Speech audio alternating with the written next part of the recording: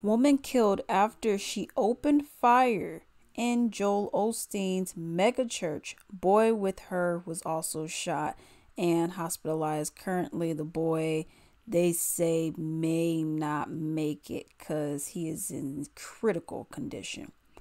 A woman in a trench coat opened fire with the long gun Sunday. This is the same day as the Super Bowl, but it was earlier.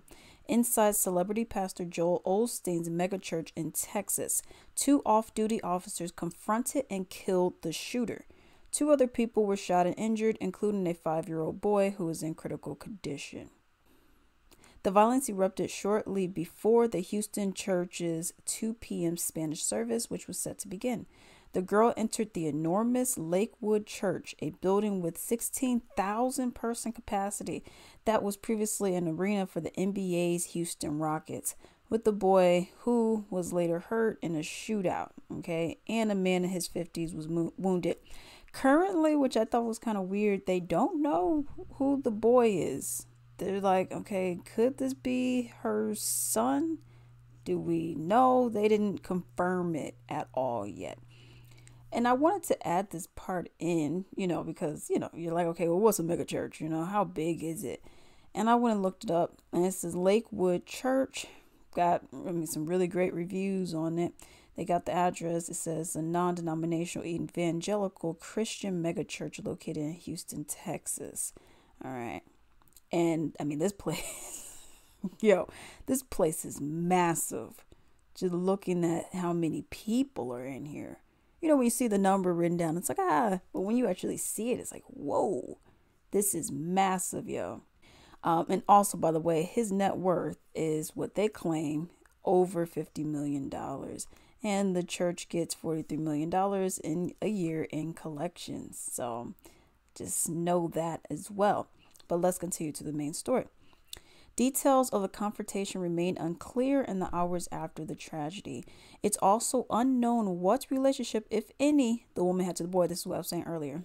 And who actually shot him in the man. I'm thinking, speculation, allegedly. I'm thinking when the cops saw him or the security guards, they went and just lit up the place. That's what I'm thinking. I think that they possibly just went and, you know, shot the, you know, the perpetrator the man in his 50s and the boy. Obviously, not on purpose, but I mean, it is what it is, unfortunately. The boy was in critical condition at the children's hospital while the man was in stable in a different hospital. The shooting happened between services at the megachurch uh, that is regularly attended by 45,000 people every week.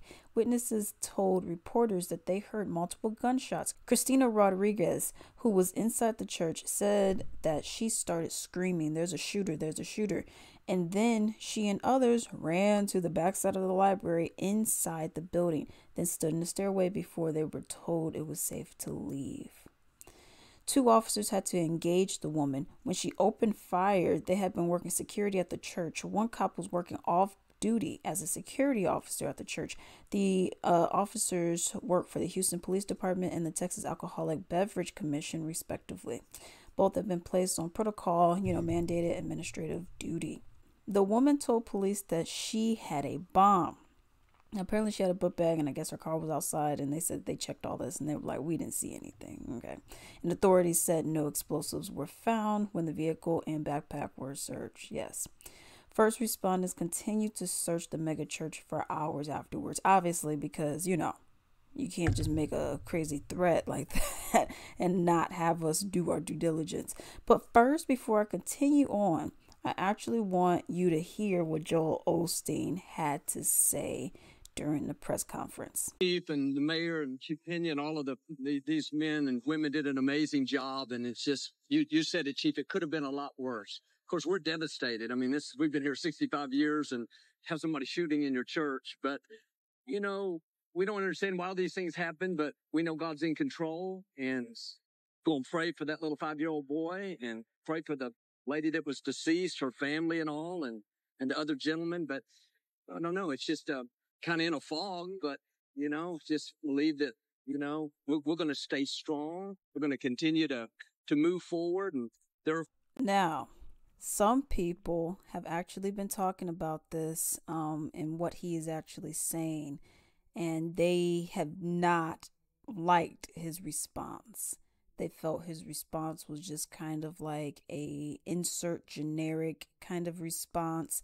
Yeah, you know, it's unfortunate. That's what happened and without really offering a serious and real solution. Forces of evil, but the, the forces that are for us, the forces of God are stronger than that. So we're going to keep going strong and just, uh, you know, doing what God's called us to do, lift people up and give hope to the world. Again, I want to thank all these gentlemen because, you know, I can only imagine if it would have happened during the 11 o'clock service. We were in between services going into the Spanish service. So, you know, if, if there, if there's anything good of it, you know what? They're, they, they, she didn't get in there and do a whole lot worse damage. So we thank God for that. He's watching over all of us. And as the chief says, we're going to keep going strong and bringing hope to the world. But thank you again, Jill. Thank you, Brownson. Uh, now let's continue. Texas Governor Greg Abbott issued a statement saying, quote unquote, our hearts are with those impacted by today's tragic shooting and the entire Lakewood Community Church in Houston. Place of worship are sacred. All right. Now, you may be thinking, man, that is so upsetting and so crazy. You showed me a picture, but Alex, uh, I mean, you didn't really give us any information about who the shooter is or anything like that. I guess I'm confused. All right. I'm going to play you a very short video. I think it's like three seconds. Um, play that first and then we'll come back. Good afternoon. My name is Jeffrey Escalante Moreno. Good afternoon. My name is Jeffrey Escalante Moreno. Our shooter, it appears to be. Okay. Uh, this is our alleged, you know, potential shooter that got killed by the police officer or off duty cop, rather. All right. So this is a female, from my understanding. This is a female who is pretending to be a male. Okay. Um, and that's what's going on. The 36 year old previously identified as Jeffrey Escalante but original name was Genesis Moreno. Okay, so the birth name is Genesis Moreno. This new name for this new um, character is Jeffrey Escalante. So the same person, completely different name, had prior arrests for assault, forgery, marijuana possession, theft, evading, and unlawful carrying of a weapon. So this person had a history, y'all. And this was all according to the Texas Department of Public Safety Records search. Um, her criminal report dates back to 2005. And here is a image. Okay. It's interesting that, well, I guess not so much. We ain't even gonna get into all that. But you can see this says Jeffrey on there and this says Escalante Moreno. And that second from the top where it says Jeffrey Genesis. So it's like, is this your last name? I mean, not last name. Is it Jeffrey? I mean, where did the Jeffrey come from? I don't know. But what was interesting is you see the sex says female, but then it seemed like this person claimed to be a male. They were born in El Salvador. I was thinking, okay, a Hispanic person you check the box uh, white for race, but then they say that like this person says that they're not Hispanic even though they're born in El Salvador.